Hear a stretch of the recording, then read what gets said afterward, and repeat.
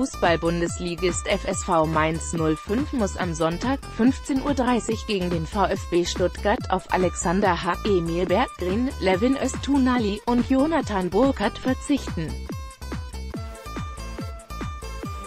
Der Einsatz von Alexandro Maxim sei offen, nachdem der Mittelfeldspieler zuletzt wegen einer Sehnenreizung ausgesetzt habe, sagte Trainer Sandro Schwarz am Freitag.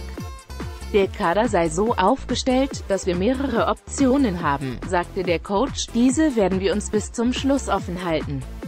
Punkt. Wir würden uns aber natürlich freuen, wenn er rechtzeitig fit wird.